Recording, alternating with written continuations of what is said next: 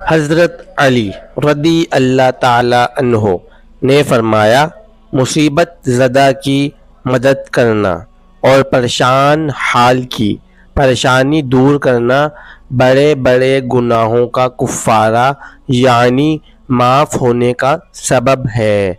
हज़रत अली रदी अल्लाह अन्हो ने फरमाया, अल्लाह सिर्फ़ तुम्हारे रास्तों को मोड़ता है तुम्हारी दुआओं को नहीं, वो तुम्हें अपने तरीके से तुम्हारी मन पसंद मंजिल तक लाता है।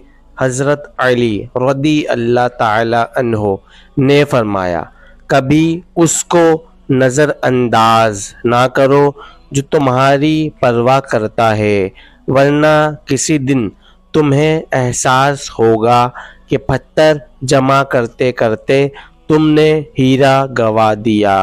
हज़रत अली रदी अल्लाह ताला अन्हो ने फरमाया, पसंद उसको ना करो जो दुनिया में सबसे ज़्यादा हसीन हो, बल्कि पसंद उसको करो जो तुम्हारी इज़्ज़त करता हो।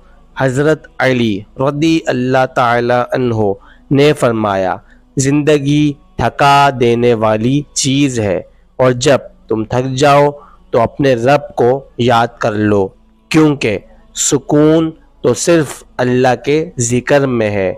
हज़रत अली रदी अल्लाह ताला ने फरमाया, खुदा पर भरोसा रखो उस बच्चे की तरह, जिसको अगर हवा में उछाला जाए तो वो हंसता है, डरता नहीं, क्योंकि वो जानता है मुझे प्यार करने वाला कभी गिरने नहीं देगा।